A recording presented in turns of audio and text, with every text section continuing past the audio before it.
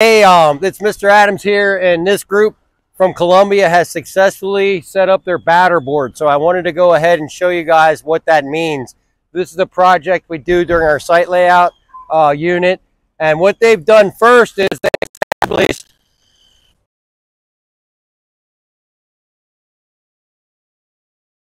edge of the road. That's their setback. Um, their building is 16 feet long by 12 feet wide. So the first thing they did is they established they made. They established this stake first. They put that stake in second. They made sure it was 16 feet apart and 10 feet off the road. They put a finish nail in exactly 16 feet apart.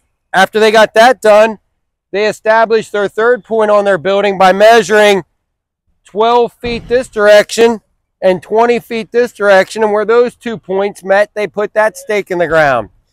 They did the same to establish their fourth corner.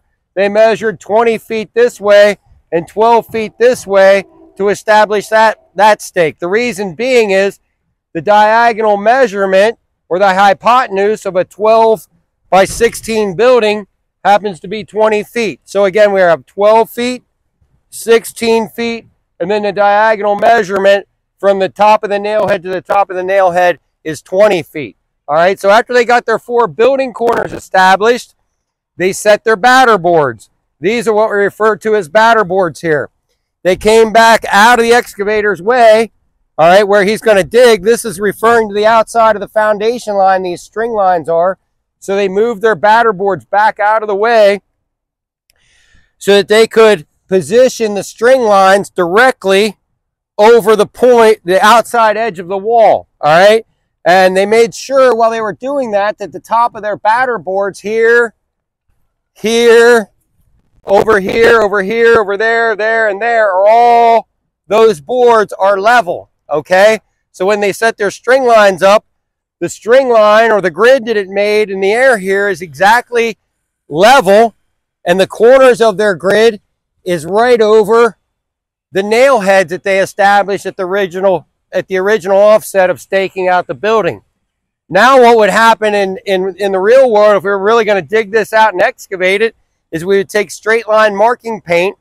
We would mark the ground all the way around the perimeter of our string lines here, which represent the outside of the foundation wall.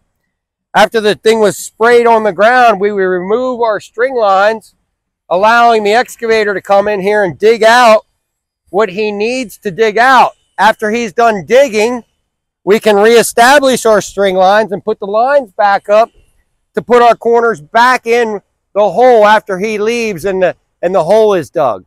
So this is what batter boards look like. This is a real simple 12 by 6, 12 by 16 building. The diagonal, diagonal measurement or the hypotenuse of that triangle is 20 feet. All their batter boards are level. They learned how to do their carpenter's knot, string it all up. Um, and now they're ready for an excavator to come in and dig out their project. So that's what it looks like. And that's what your project should look like as well when you're done. So thank you.